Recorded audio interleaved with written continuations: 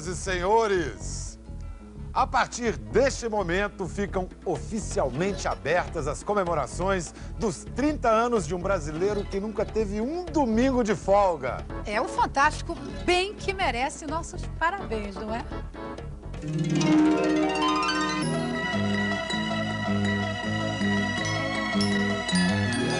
Olhe bem, preste atenção. Essa música virou aviso. O final de semana está acabando.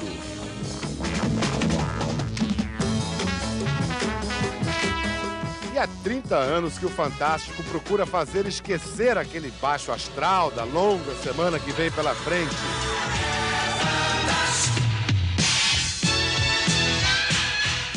Procurando em nossos arquivos, descobrimos não só as caras jovens, curiosas e engraçadas de gente famosa, descobrimos também o personagem mais importante de todos esses 30 anos. Você. A senhora, quando vai fazer as compras, compra alguma coisa estragada, a senhora processa alguém e reclama muito? Não. Absolutamente. Por quê? O azar é meu se tiver estragado. Não, claro Por quê? que não, porque fui eu que escolhi.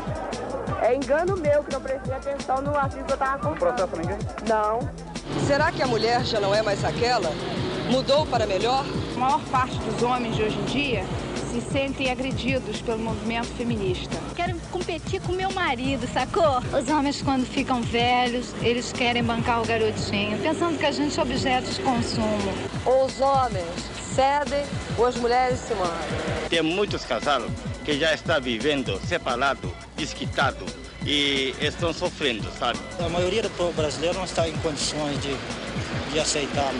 todo mundo casa depois, chegando numa condição ilegal, o divórcio vai trazer legalidade a tudo. Se, se não dá certo, separa. Sem o divórcio, a pessoa vai errar uma vez só. Mulher que engana o marido devia ser um divórcio. O que Deus ajuntou, juntou, ninguém mais pode separar. Não é? não nos permite mais as famílias transitarem à noite pelas ruas do Rio de Janeiro. Brasil decide que vai e não pode andar de noite, não pode andar de dia. A pessoa anda assombrado com tanto assaltante na Bahia. Acabar com os direitos humanos daquele que não respeita os direitos humanos à lei. Tem que morrer, já foi cidade três vezes já dentro de São Paulo. Do jeito que vai, não pode continuar. Ele vive numa cidade de apreensão, entendeu? De problema, de assalto. Sai na rua e não sabe se volta para casa.